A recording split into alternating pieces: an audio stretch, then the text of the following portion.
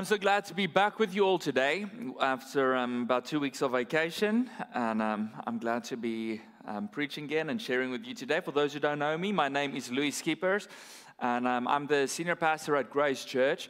And we are in a summer series called Words to the Wise, in which we are looking at different scriptures throughout the book of Proverbs, written by Solomon, the wisest man to have ever lived, the Bible says. And the book of Proverbs is full of really deep spiritual insights, and we've talked about a lot of them already over the last couple of weeks. But the book of Proverbs is also a book that talks about really practical things in life. And here is why. The Christian life, the walk with God, is not just a spiritual exercise that affects my Sundays when I'm in the building, in the church building. It doesn't affect just my 30 minutes, maybe, of devotional time that I have, or the hour and a half a week that I'm with my small group. The walk with God affects every single part of our lives. It affects the way that we have relationships with other people. It affects the way that we um, work. It affects the way that we parent. It affects the way we use our money. It affects every single area of our life. And therefore, today, we're going to be talking about a super practical thing that affects all of our lives. And I want to start with a story, and you'll probably figure out what our topic is today as I'm going through the story. But years ago, 18, 1839 to 1937, a man lived named John D. Rockefeller. He was the founder of the Standard Oil Company in the US. And at the peak of his wealth, hear this, he was worth about 1% of the entire US economy. 1%. They say even today, like even Elon Musk, they have done some inflation and they say that what 340 billion strong or something could get about where, where Rockefeller was. But this guy was the first billionaire in the USA. Like so much money that I think most of us don't even have an idea of how we would ever spend something like this. But then a reporter one day asked him, and they said, the reporter said, How much money is enough?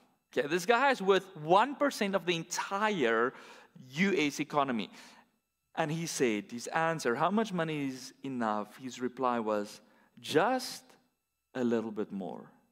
Just a little bit more.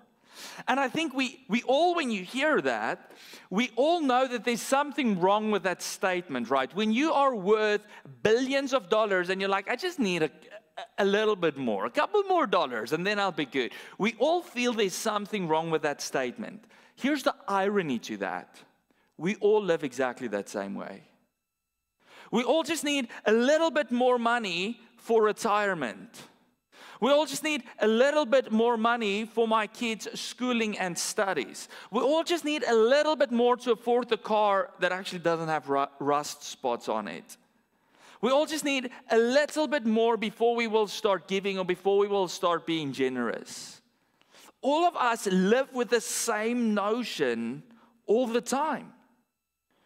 And it's interesting when it comes to money, throughout the Bible, both in the Old Testament, the Bible talks about money. Then when Jesus came to earth, Jesus talked about it quite a lot. And then the rest of the writers of the New Testament also talks about money quite frequently. And the question is why? Because Jesus said money has the biggest potential to become the main competitor for the throne of our hearts. Money has a way to push God off of the throne of our hearts and take that place. And therefore, today, in line with this series, um, Words to Make You Wise, our topic today is a better way to view money. And we're going to be talking about our general view of the purpose of money in our lives, a better way to view money. And we're going to be reading today from Proverbs 11 and in Proverbs 11, the whole chapter is basically this comparison of wise people and foolish people and how they how they look at life, what they do with their lives. There's wise people, Solomon says, that do it a certain way, and then there's foolish people, or often also called evil people, that do it a different way. And constantly is comparing the two. So, what we're going to do is out of Proverbs 11, we're just going to read three sections that specifically, and he talks about a whole bunch of life things here, but we're going to read three sections that specifically talk about money. So you can read from the screen Proverbs 11, or if you've got your Bibles with you, you can open. I am reading today from the New Living Translation.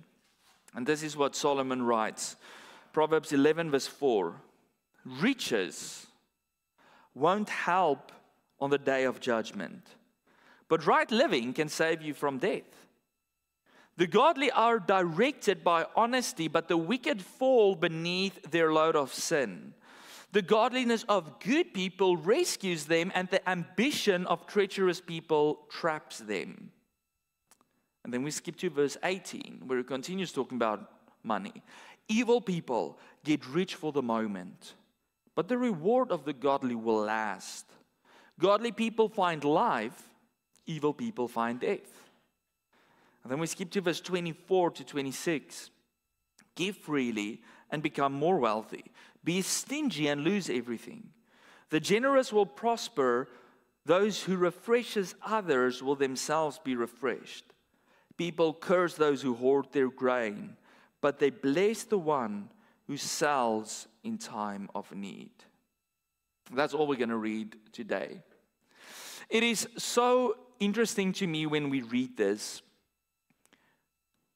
to take it from who it comes.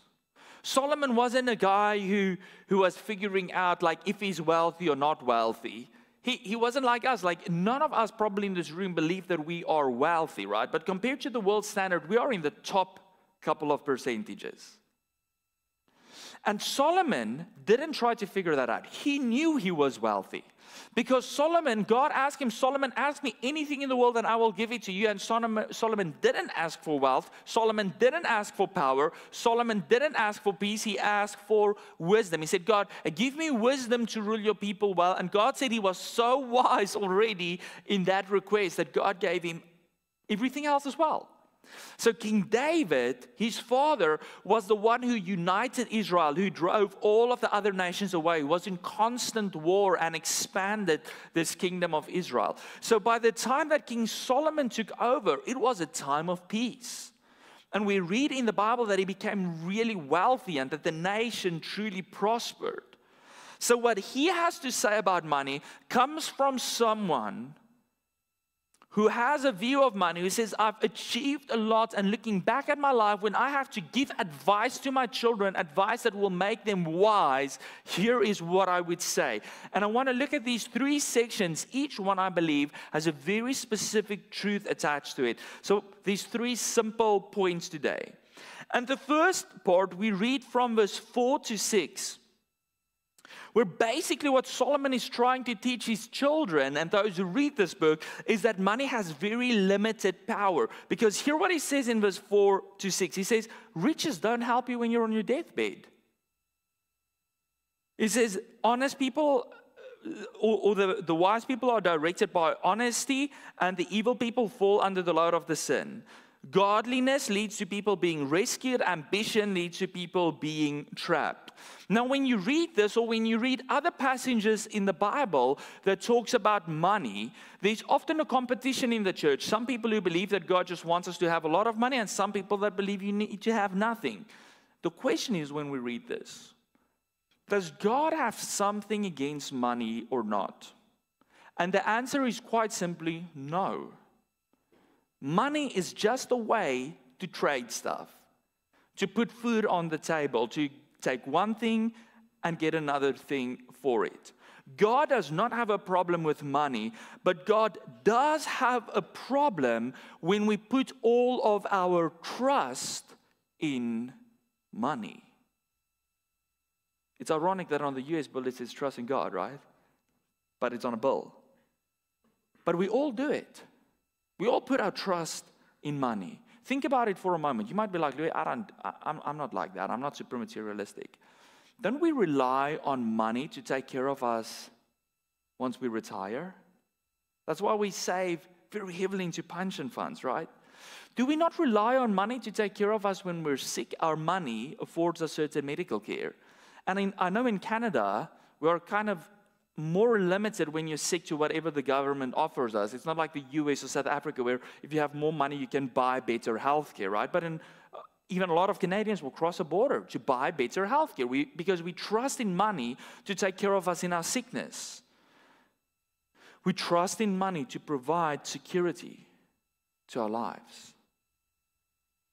And here's the reality about money money does have value, and money does have power attached to it.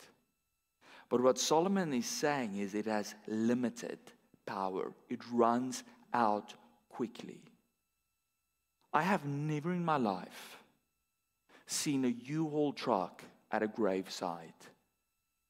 You cannot take your money, you cannot take your stuff with you. And what Solomon is trying to teach us is that we can trust in money and hope that it will have the power to do for us what we think we cannot do for ourselves. But money's power is limited. And at some point, it's going to run out on you. And that might be on your sick bed, or that might be the day that you close your eyes and you die. But it has limited power. And therefore, he says it's not really worth to invest everything into it. Jesus spoke about it. In Luke 12, verse 13 to 21, this brother comes to Jesus and he says, Listen, Jesus, my brother doesn't want to share our inheritance properly. And Jesus, like, one, I'm not your judge. But two, he tells them a parable, a story with a meaning. And Jesus tells them about this businessman that put his trust in money. He had a great harvest. So he thought, whoa, I'm going to tear down my barns and I'm going to big, I'm going to build big storehouses and I'm going to store all of this stuff and I'm going to retire comfortably. I have my money that I've put my trust in that will take care of me till the day I die. And then he says, and then God answered him, You fool, on this very night you will die. He put his trust in physical things. But its power, although it does have power, we see the world revolving often around money and power, right? It is limited power. And therefore, in verse 5, Solomon says that we have a choice when it comes to life, when it comes to the way that we look at our money, to either do things that is right in our own eyes, or to do things what is to use it in a way that is right in the eyes of God. He says we can use money either in honesty or we can use it to feed our sin. Now, this might seem a little bit confusing, but in the next verse, in verse 6, um, the, the New Living Translation says that the ambition of treacherous people traps them. Now, some of the translations use different words there that doesn't make a lot of sense to me, but the actual Hebrew word that we translate in the New Living as ambition actually means greed. Greed. See, there is this contrast when, that he talks about in verse 5 and verse 6. Another way to translate it is as lust. And he says we can lust for power and we can lust for whatever we, we have. And then we can use money to feed that sin, that lust to be in control of our lives, that lust, that need to, to make sure that I, I have security in life. And he says we can use money to feed that sin, the sin of pride, the sin of greed, whatever it might be. But he says it leads down a path. And what is the path? It will trap you. It will take you captive and it will keep you in a place where you worship something, where you trust in something that doesn't have the ability to do what you think it can do for you. He says, or you can use money in an honest way, and guess what path that will lead you down? He says, um, the gener- uh, sorry, verse 6 the godliness of good people rescues them. When we use our money in an honest way, when we use it the way God wants us to use it, it rescues us. Because now we don't put our trust in money, we use it in a godly way. So our trust is in God, and it leads to a place of rescue, not a place where money entraps us, but a place where it serves a purpose that is in according to God's in accordance to God's will for our lives. So this is the first thing I want you to get. Money has limited power and it cannot give you what is most important in your life. It cannot save you. To a certain extent, it can help with your healing, but it cannot fully heal you. It cannot fix your relationships, even though you can pay for 60 different counselors. It cannot save you from your addiction. The power that money has is limited and it cannot give you what is most important in your life. Only God can. But then he continues in verse 18 to 19, and he, he basically it's very similar, but he switches gears a little bit. Not only does money have limited power, but he talks about the temporary nature of money. And he says, evil people get rich for a moment. But godliness gives rewards that last. Because the people in this room and the people watching online, we are all different generations, different ages. But the one thing that I've never heard anyone say, no matter how old they are, is like, oh man, my life is so long. So long. I wish it will just like go by a little quicker. Paul talks about it. He says, all of these things that we face in life is gone, but in a moment. And guess what? Even riches can be gone in a moment. It doesn't last. And money cannot satisfy, satisfy the most eternal cravings in our hearts. You see, we often use money as a drug. And what is the problem with the drug? A drug gives us a temporary high, right? Where I forget about my problems, where I forget about the things that bother me, where for a moment I feel happy about something. And that is the problem with money is that we use it as a drug for a temporary high. It's interesting that you all know during COVID how online shopping skyrocketed, right? They had to, all the tech companies employed thousands and thousands of people that they now all had to fire.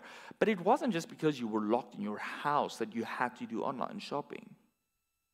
There's been so much research done that during times of uncertainty, people use online shopping as a coping mechanism.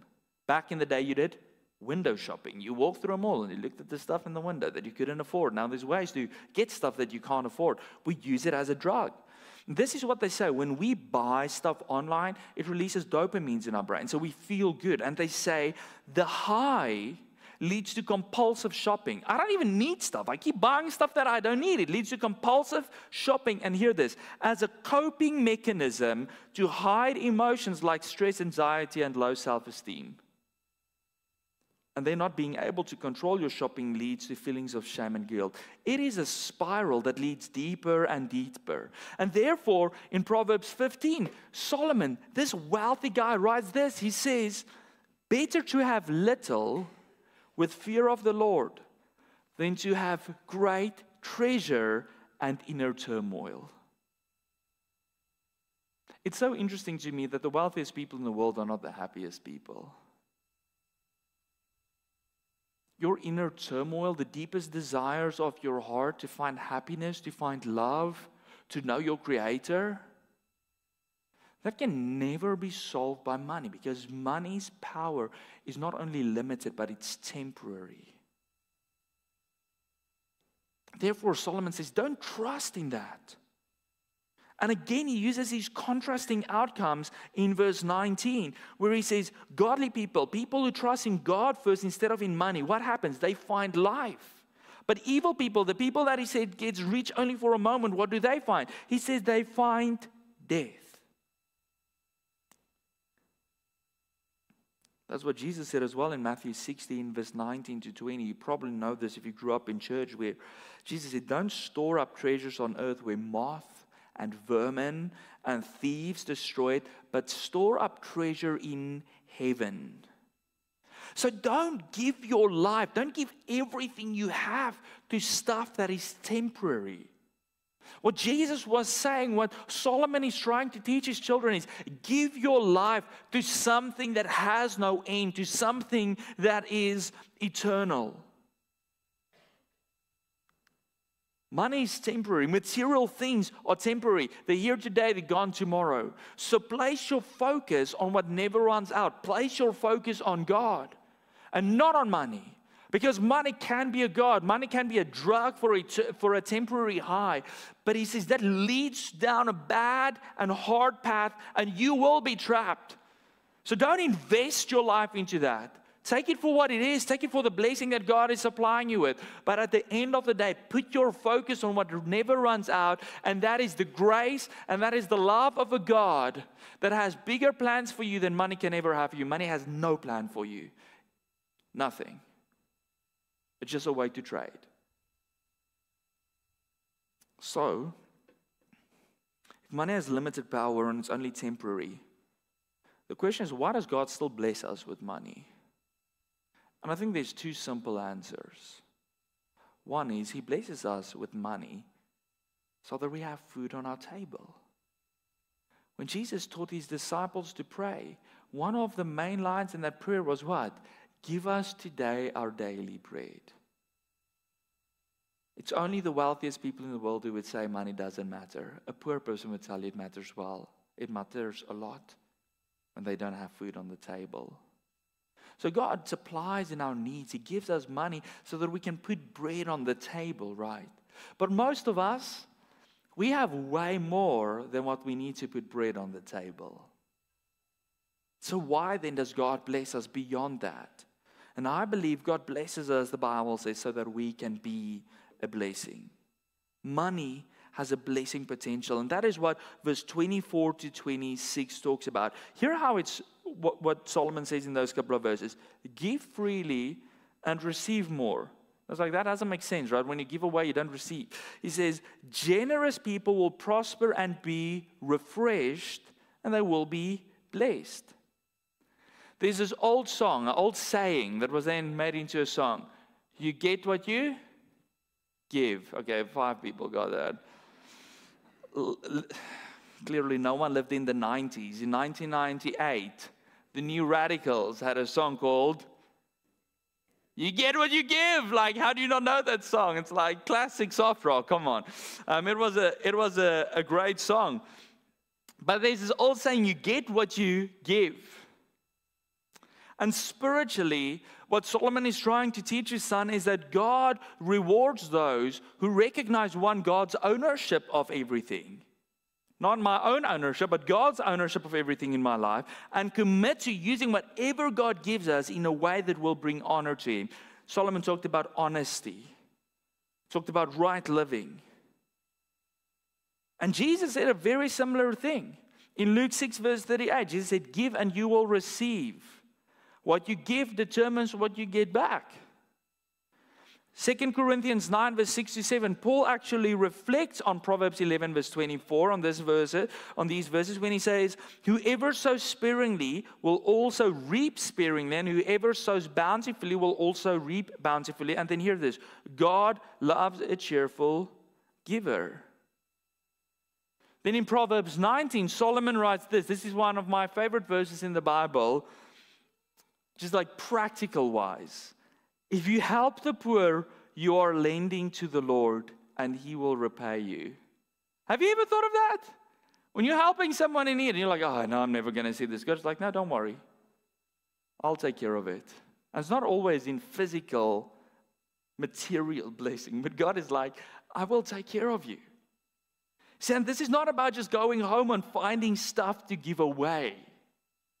What did Paul says? It's about a generous heart. It's about an attitude that is different. Where my hope and my trust and everything in life is not in my money because then I'm greedy and I'm stingy and I don't want to let it go. He says at the end of this, in what is it, verse 26, it's like someone in a time of crisis that doesn't want to sell his wheat. And when he does, he sells it at an inflated price because he's greedy. He says, like, that's not what God wants of us. That's not why God blesses us. He wants us to have a different attitude the attitude of the Father, an attitude of generosity. That went so far to the point where Jesus even gave his life for us on a cross.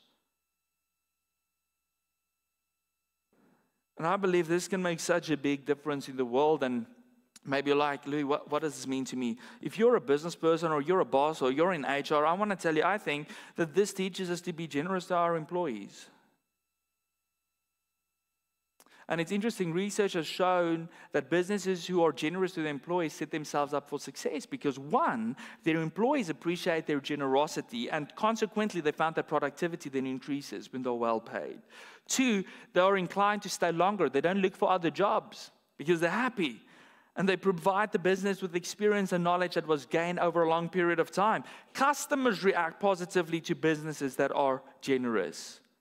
I'm like, this is all studies in the business world. I'm like, as the church, we should be known as the most generous people in the world. Businesses shouldn't, shouldn't take us out on, on that one. We should be the most generous people. That's why I'm like, we might not have a cappuccino machine here, but coffee will always be free here. We're never selling it. And I'm fine with churches who want to do that. But I want to be known for our generosity. That's why our summer break camp costs almost nothing. Why our tickets at a fun fair is like 50 cents or something. Because we want to be known as people who are generous, not people who are in this life to profit from it, not people who are greedy. And I think all of us can learn how to give more generously to God's work, who can give more generously to those in need. Because generosity speaks of a God that is so different to this world. So different.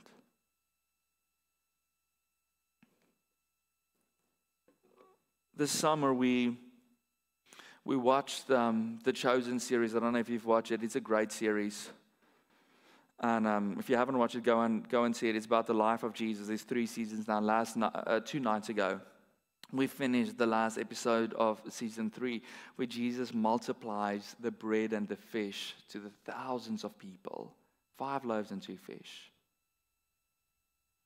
And it was so cool to just see it because you always have this mind picture, and it's cool to actually see it on a screen. And it's of course not exactly what happened because we we have limited info, right? We have to to um, be creative with it. But what was so beautiful to me is that a boy with five loaves and two fish, it's all he had, could stand before Jesus and said, This is what I have to offer.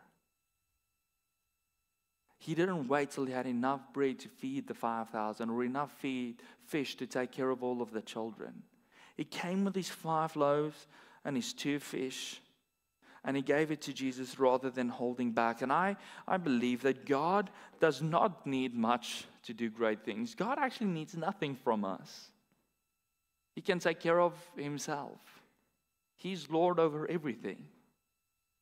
But he wants us to bring to him. He expects us to make available to him all that we have. That is what I believe Solomon is trying to teach his children is that money the beauty of money is that it has a blessing potential. It has the potential to be a blessing to everyone around us. And God doesn't need much from you to do great things. I'm not here today to recruit money, for, to get money for our church, or to tell you how much you should give. I believe that the tithe is a principle in the Bible, but this is not what it's about. I want you today to think about how you can get free from the trust that we put in money and to see how God wants you to have the same heart that He had a heart of generosity. And He doesn't need much, to do great things but He expects you to make available what you do have.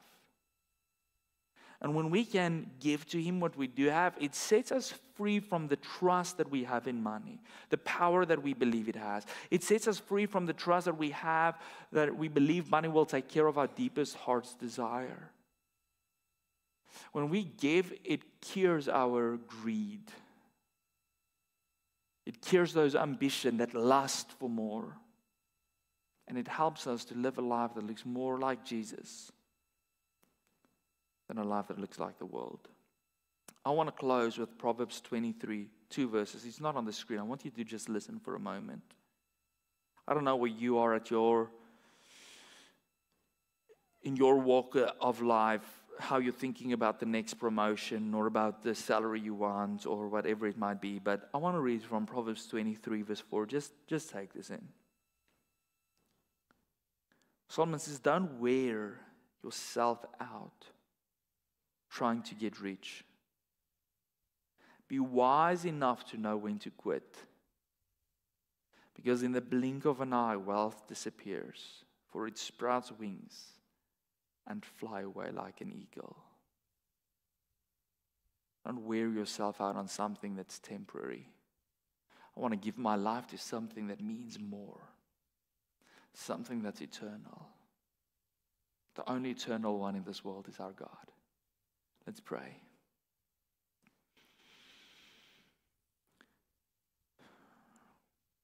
Father, thank you that there is no one in this world who has a more generous spirit than you. I can't even imagine what it took when you decided to send your son Jesus to die on a cross in our place for our sin, for our brokenness, so that we could receive healing, so that we can, could receive rescue, so that we could receive freedom. God, you're so good to us. I want to thank you today for every blessing, the blessing of Jesus, but also the physical blessings we experience every day in life, the, the paycheck we receive, the food on our tables, the cars we get to drive, the, the houses we can live in. I want to thank you, God, that you supply above and beyond what we need. I pray, God, that we would not put our trust in something that's actually powerless that we would not put our trust in something that's temporary, but our, our trust would always be fully in Jesus, the creator and the mm. sustainer of all things. I pray, God, that our hearts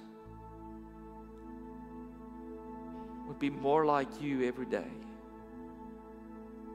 And that as a church, that we would be known as generous people